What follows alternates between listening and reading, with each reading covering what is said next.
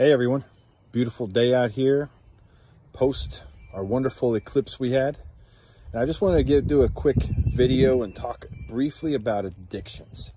Addictions are something that I work with a lot with clients and what the underlying theme is with every addiction, no matter what it is, I don't care if it's from work to gambling, to pornography, to drugs, to smoking, to screen time, whatever it is, is always pain and we have a society that's conditioned us to distract ourselves very quickly. So one of the things that's going to make you successful in helping get rid of your addiction is if it's something that you are absolutely ready to get rid of. What I mean by that is if the addiction feels like your best friend, if it feels like uh, part of you that you're just not ready to part with.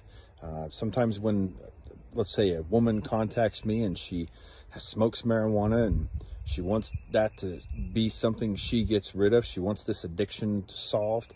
One of the things I'll ask her is this, can you look at that marijuana actually tell it, I hate you. I don't want you in my life anymore. I'm ready to surrender you completely. And if she goes, well, I don't know about that.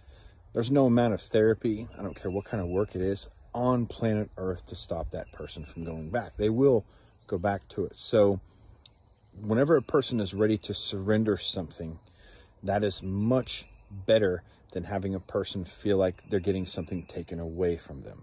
So just because a person stops doing a behavior, alcohol, marijuana, gambling, or something on that nature, a behavior, doesn't mean that their addiction is over.